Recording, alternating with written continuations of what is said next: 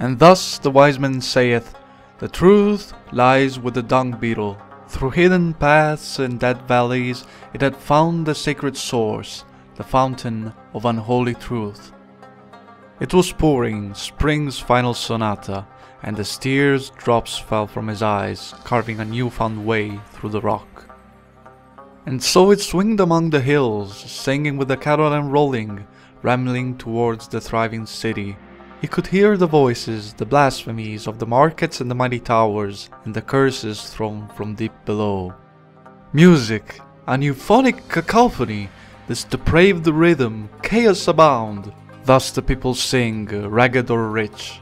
And so it swinged among the huts, the dwellings and swampy shanties, and from their mouths it gathered truth. Through narrow roads and shady corners, it had reached the dragon towers, the fountains of life and death.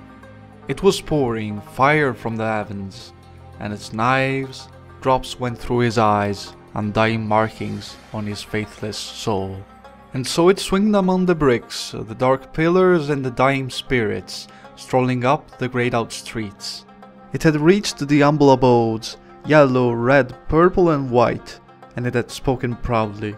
Laconic, palatial, unbelievable, majestic is the life of the common man, illusions of flight as in a gilded cage.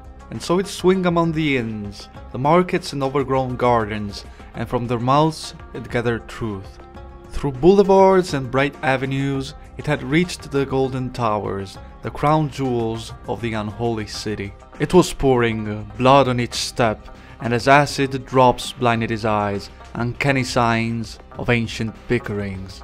And so it swinged among the villas, the mansions, and illustrious statues, steadily drifting towards the top. It had reached the royal dwellings, the seat of rapacious lust, and he did not bow to the king. Highness, I have travelled far to smell thy people's succulent truth, and not to my disappointment. I shall cherish thy city's soul, but beware of his inevitable wrath, beware of his unforgiven spirit.